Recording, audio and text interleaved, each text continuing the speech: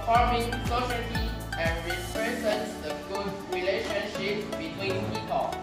This song is very important to Taiwanese culture.